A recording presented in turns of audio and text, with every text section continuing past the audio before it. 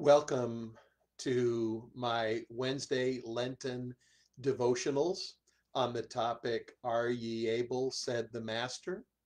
I'm Pastor Steve Graves of Lafayette Presbyterian Church, and you are in my office.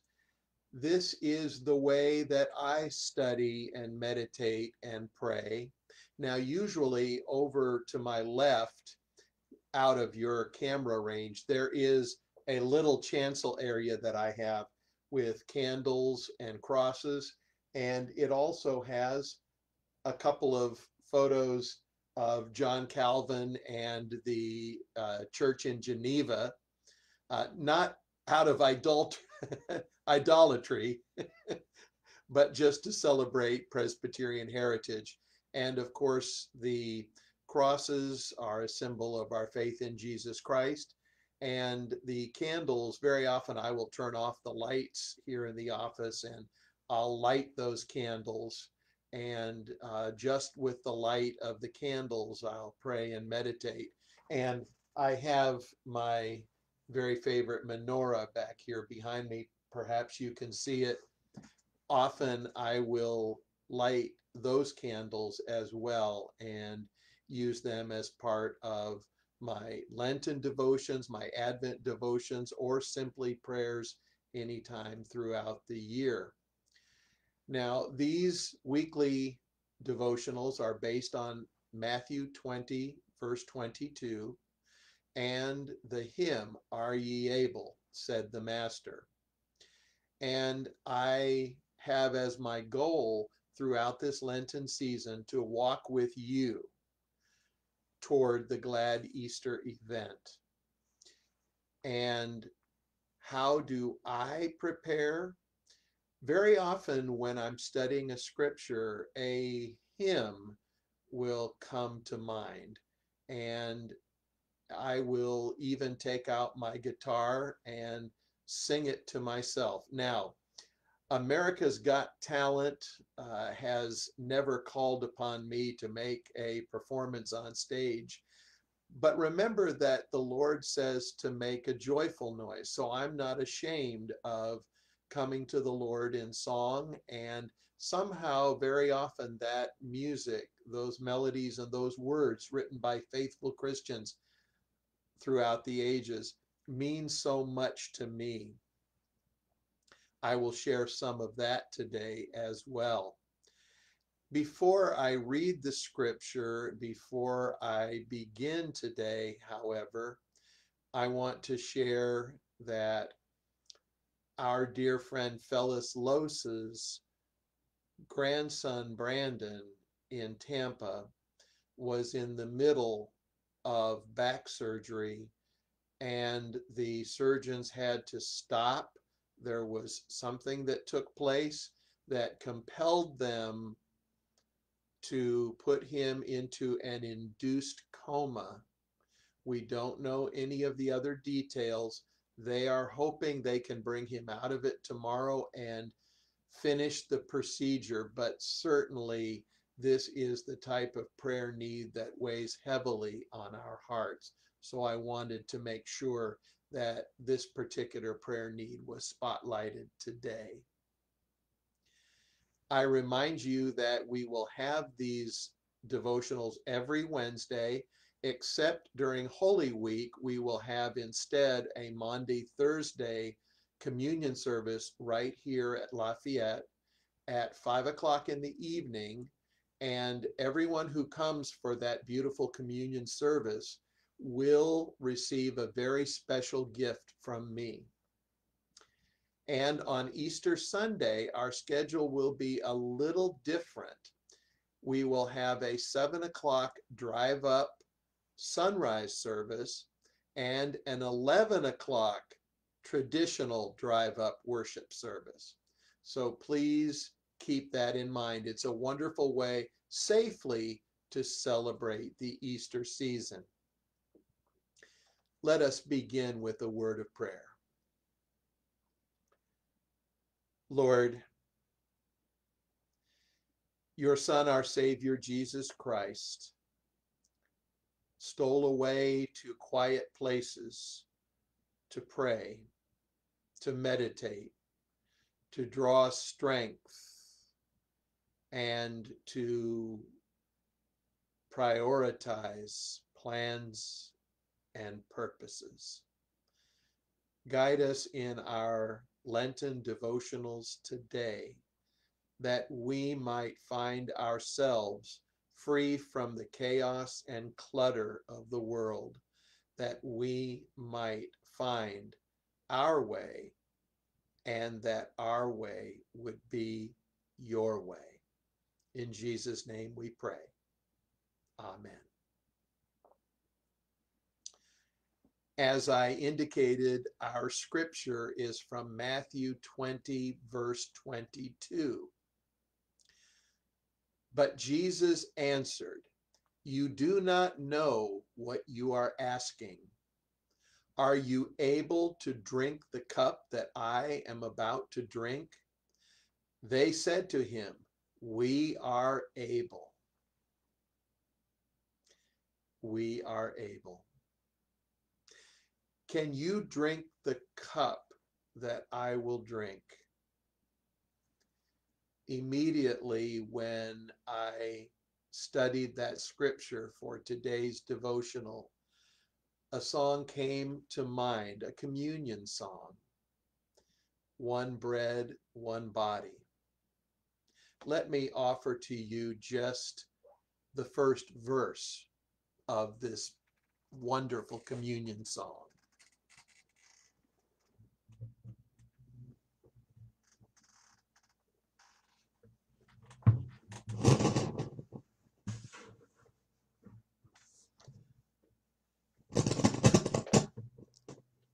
Sorry for the feedback.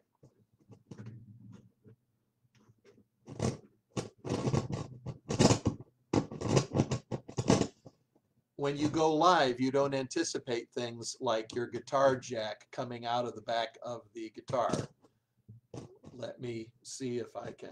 There we go. I think I have it.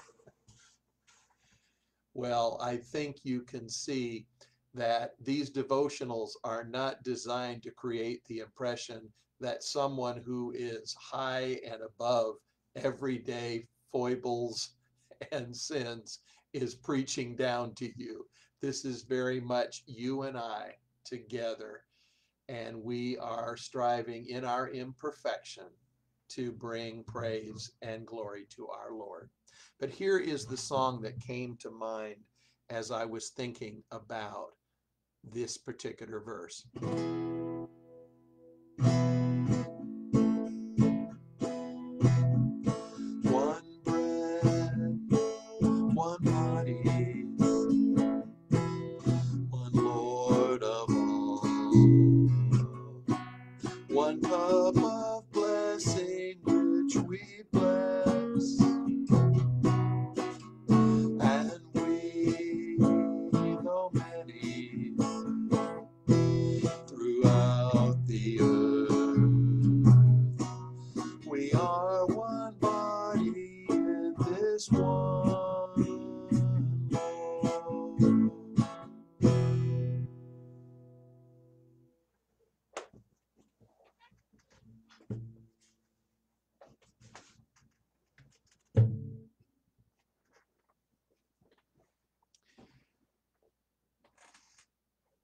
One bread, one body.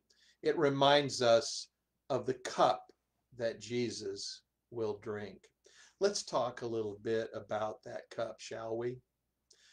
Now, this particular verse, Matthew 20, verse 22, immediately follows James and John approaching Jesus through their mother, asking for a special place of honor at the right and the left of Jesus when he comes into his kingdom.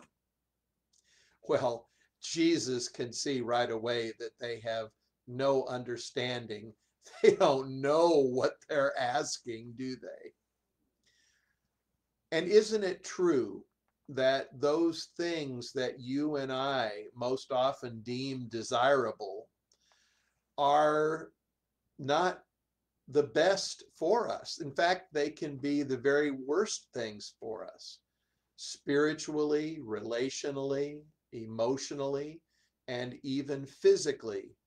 The desires of this world often look so good, but in the practice, they divert our attention away from the deeper aspects of life. In the short run, they can destroy relationships. And it is only by keeping our focus on the Lord that we find the deeper blessings of life. In praying for worldly things, we're apt to forget to count the cost that we must pay for their attainment. I think of Billy Graham, who lamented once that he had become so successful by worldly measures that he was no longer able to keep his front door unguarded. And he realized that certainly there must be some kind of failing that has brought him to a place where he has to separate himself from the people he has been called to serve. Every choice has a cost, and every worldly prayer must be aware that there are trade offs, consequences, and there are repercussions for everything worldly. Certainly, James and John did not understand that. And I was thinking also of the prosperity gospel. You know, those evangelists and teachers of the Christian faith, which pretty much suggest that God wants us all to be rich, you know, that Jesus wants us to prosper. Now, I'm not saying that Jesus wants us to have to struggle from meal to meal. But are we really called to go through life first class only? I don't think so. I think that's a total misunderstanding of Jesus and his gospel. How can we fail to hear Jesus teaching us about the crosses we must bear, the service that we are called to give, the sacrifices we are to make, and remember that Jesus and his followers, the Apostle Paul and others, stress in Gospels and epistles that even suffering may be a gift of God's, not only to us, but to the people around us. But let us not simply judge others if we look at our prayers, how often really do we stop and pray a prayer of adoration and praise? How often do we pray a prayer of thanksgiving? How often do we, unless we're in church on Sunday, pray a prayer of confession? I think for most of us, our prayers at least many of them are asking prayers, aren't they? Lord, give me this, make this possible, clear the path. Our prayers really are not so different from the prayer, from the request of James and John. I'd like you to picture, if you would, a medieval castle. And within this castle, there is prepared a feast. And there are many invited guests around the table with the king. And all are privileged well beyond the masses and the table is splendid. Now, I want you to imagine, if you will, that the king orders his stewards to fill every cup to the brim. And so around the table, go the stewards, filling every glass. The king raises his glass for a toast.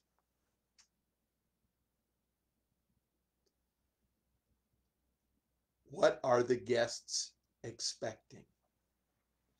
As they raise the glass to themselves, what are they hoping for?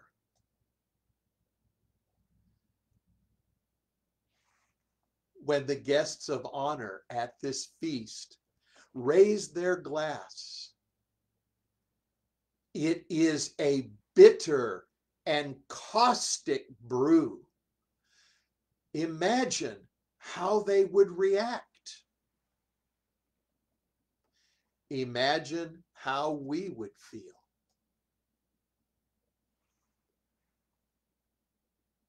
Do you have any earthly idea what is the cup that Christ raised to his lips?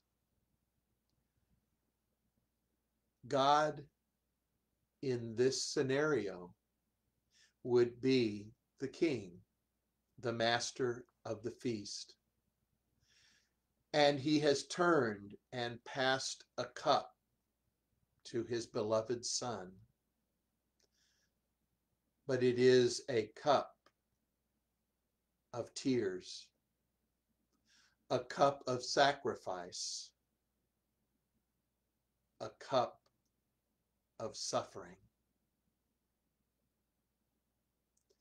And so Jesus, perhaps bemused at the question of James and John,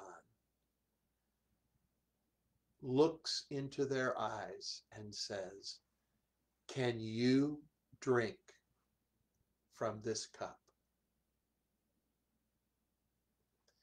We, the followers of Jesus Christ, those who fall into the same sorts of traps that did James and John, those of us who are limited in our understanding, those of us who have heard the gospel story so many times that some of the striking and terrible details of the cost of salvation are blunted for us.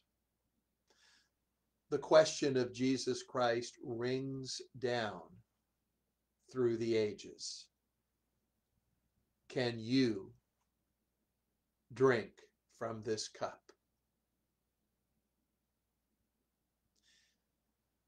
Let us share the chorus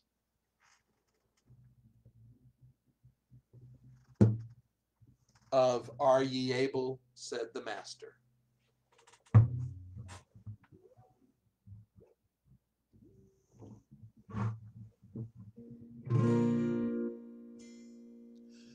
Lord, we are able, our spirits are thine.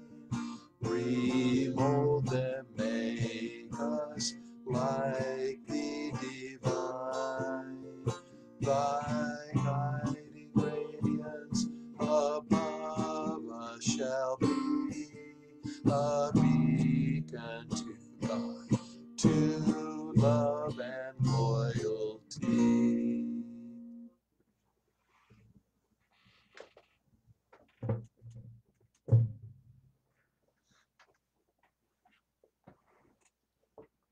us come before God in prayer.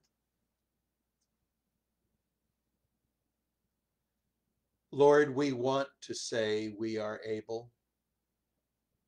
And we remember that even though the disciples fell short of their bold words, they did eventually, when filled with the Spirit, when guided by the promised Comforter, when keeping their eyes fixed on the heavens, they did go out into the world preaching, teaching, baptizing, and healing.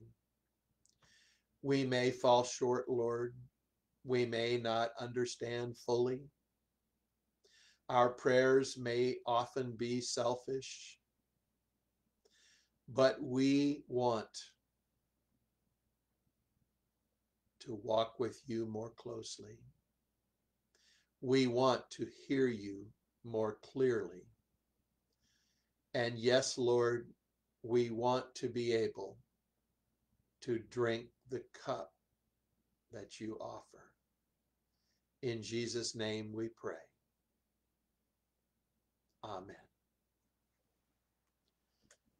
Please join me as we continue these Wednesday devotionals every Wednesday at 3 live on Facebook and then posted on our church website and on YouTube. And if you have any questions or comments, please feel free to contact me through Facebook or through our website or our church email address lpctally at outlook.com. God bless you.